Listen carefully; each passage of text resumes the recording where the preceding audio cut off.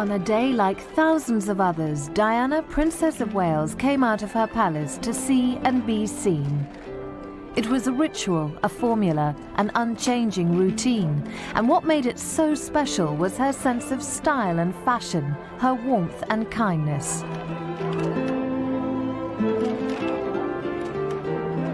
This was her role, her work, the reason for her inimitable performance, and the cause of the overwhelming media attention that claimed her as its own.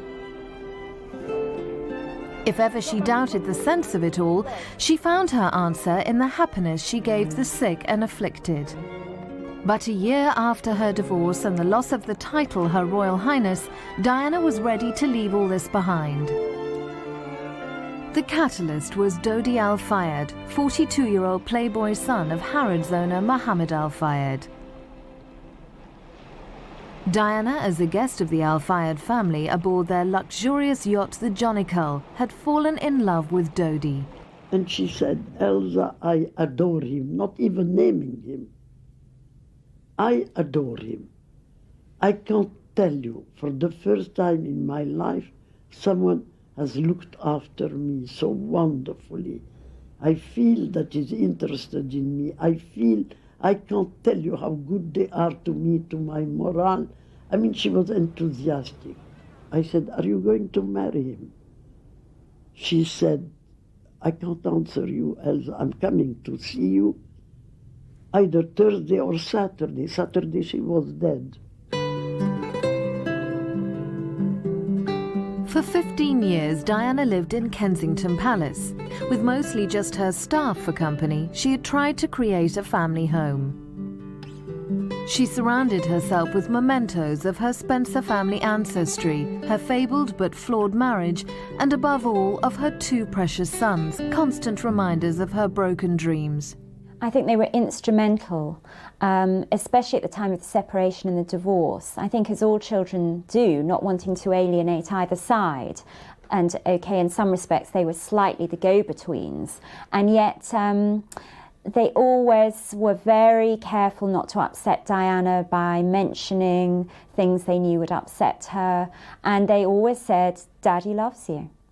Charles was truly her Prince Charming. She, he was the one that um, she was always in reference to throughout her life, even towards the end. Even any other relationship would always be kind of compared to or contrasted with her relationship with Charles. He was her reference point. Diana and Charles shared the custody of the boys, and in July 1997 she took them on holiday with Dodi's family aboard the Jonikal. Following her divorce, Diana's life centered around her sons. But the children, don't forget, she took them on the boat, and they had a wonderful time. Not probably William. William was not so happy, but the little one was thrilled all the games, all the thing. And it was probably to accustom them to the situation. And when I asked her, Are you going to marry him? And what your children's reaction? She said, Elsa, I rang up William. So it was the answer. And he said, Mommy, I want you to be happy. Diana would have never married Dodi without the consentment of the two children and Prince William more than that because she always said that Prince William was her anchor and she admired the boy enormously and she loved she loved the other one very much prince harry but she always said prince harry is a uh, is like a spencer i don't have worries about him but uh, I think that the, the, future king, Prince William, has the sense and sensibility of Diana. As heir to the throne, William and his brother Harry carry with them the traditions of the royal house of Windsor.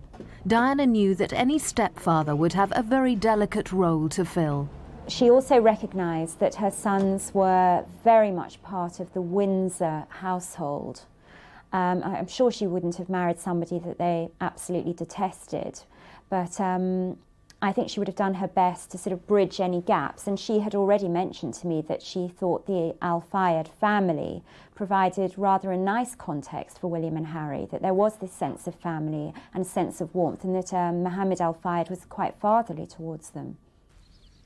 In the early years of family life, Diana felt at home in the country. When her marriage broke up, she lost the country home Highgrove and the family life that had been her childhood ambition. Like their mother, William and Harry became products of a broken home. Diana compensated by taking a dominant role in her children's lives. She was concerned about the role of monarchy, about the paparazzi and how that might disturb her boys. And she was also very concerned that they weren't going to grow up spoiled or sort of too much within that tradition. And she used to love taking them to see, you know, the homeless and wear the jeans and just, you know, go down to brass tacks. I mean, she was terribly concerned that they should see that side of life.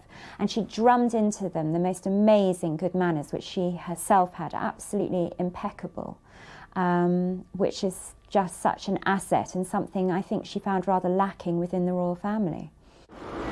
Following her unhappy experiences within the royal family, Diana shaped the boys in her own image and likeness. In the words of her brother, Earl Spencer, Diana wanted their souls to sing freely. She would really want them to lean on each other and to remember as well together the times they had with their mother.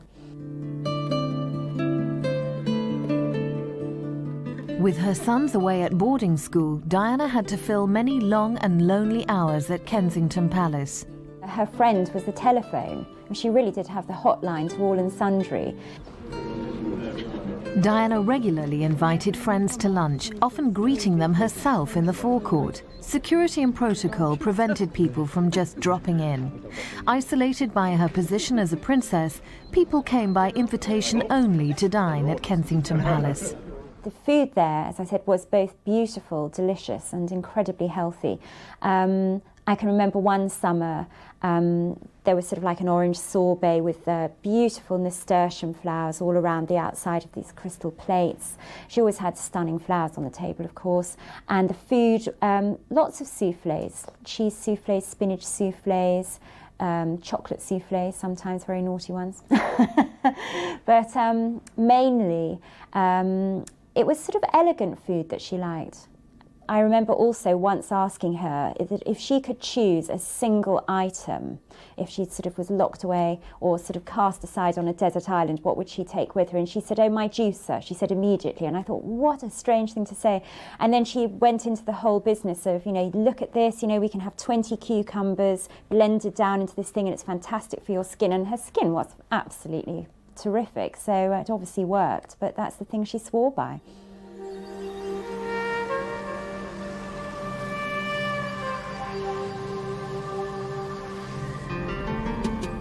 Diana's day began at dawn. She slept badly. After many restless nights, she relied on exercise to face the pressures ahead. Before most people had arrived at work, Diana had already driven the short distance from Kensington Palace to Buckingham Palace to swim 20 lengths in the private pool there. Then it was on to the gym for a strenuous workout, often with a personal trainer. In a quest for maximum fitness, she experimented with many exercise techniques.